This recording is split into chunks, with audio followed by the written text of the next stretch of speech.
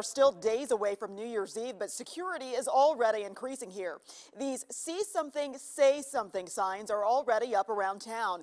It's not unusual to see these signs up when there are big events with a large number of people. They are there to serve as a reminder to be vigilant, and the National Guard will have its eye on McCarran. A team of 40 uniformed soldiers will join local police at the airport from December 30th until January 2nd. They say it's not due to any specific threat, but they want to be prepared if there is an emergency.